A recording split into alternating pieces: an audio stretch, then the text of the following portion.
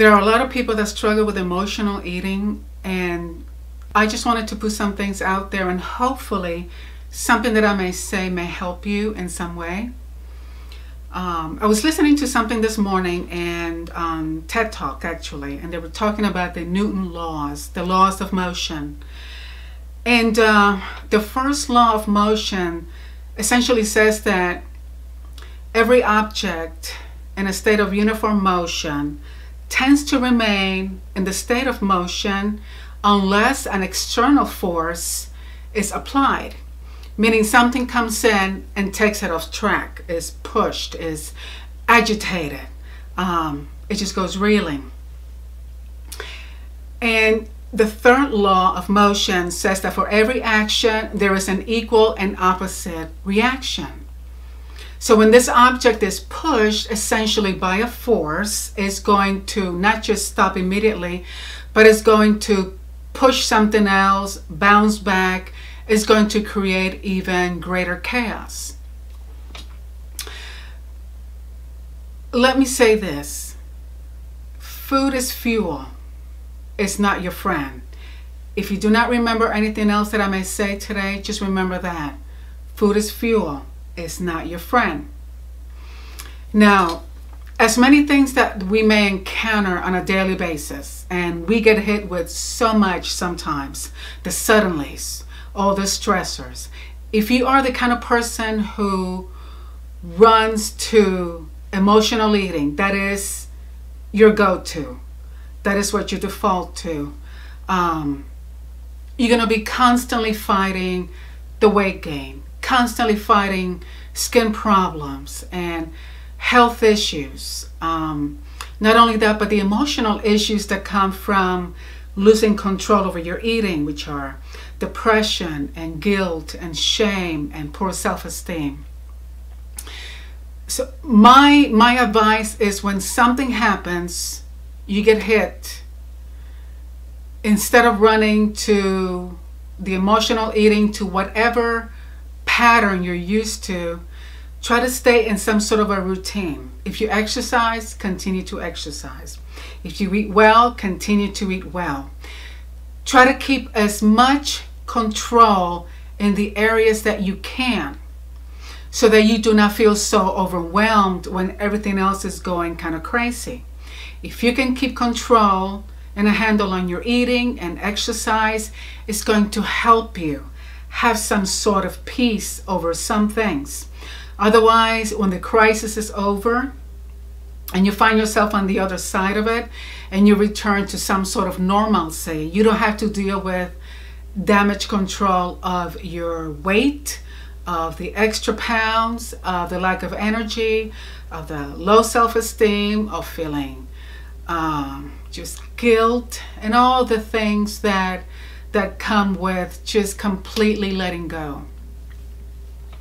Food is fuel, it's not your friend. So that intimacy that sometimes we form with food, that bond, that has to be broken. That has to be interrupted. Everything around us was created with some sort of a positive purpose. And when we abuse that purpose, the thing is going to backfire. So when you abuse the purpose of food, which is to fuel you, is going to backfire. You're going to have the effects of your body not feeling good, not looking good, not operating and functioning the way that it is supposed to.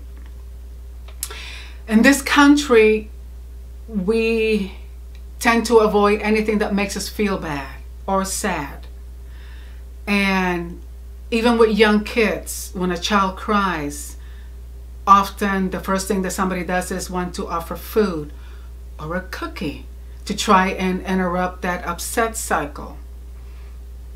Don't do that we teach the concept of comfort food to our children from the time that they are very young. So they grow with the mindset of, I am feeling bad, but I know the thing that is going to make me feel better. Whether consciously or subconsciously, that is what they do. Take that child, go for a walk, talk to them in a soothing voice, engage in some sort of an activity that is positive, that will take their minds off of whatever issue upset them in the first place. And do the same for yourself. Go for a walk, go for a hike, cry it out. Um, get yourself out of whatever environment you're in. Don't go for food. Think about a plan. Think about something that you can do dealing that is going to bring some sort of a solution to the problem. When I get upset, I don't use that as a as an excuse to indulge in all the wrong stuff or even overeat even the healthy stuff. I have a playlist that I use for my own personal workout time, like when I go to the gym. And in that playlist, I have music from the 70s, from the 80s, current music. They're all things that make me happy. Uh, to a lot of those songs, there's a lot of memories attached to them. So it's kind of nostalgic in a way. So when I get upset and I need to offload because I have been hit by an external force, um, I put on my playlist, I crank the volume up, I'm usually home, and for the next hour or two, I dance. Not nice dance, wild dance, crazy dance. And most of the time, I'll cry for the whole time, during the whole thing. And I will get to the point where I am completely drained, totally exhausted, but I feel better. My mind can think clearly, and I can then begin to come up with some sort of a plan, even if it's just short term. So if you come by my house and there's very loud music going on, I am probably having a moment. Um, you need to come up with some sort of an emotional contingency plan for the next time that something hits. Don't wait until it happens. Because if you wait, you're going to find yourself under it. And if your go to is food, that is the thing that you're going to go for. Don't wait until it happens. Think about it. Next time that I get hit with something major and I'm completely stressed out and upset, I am going to do this.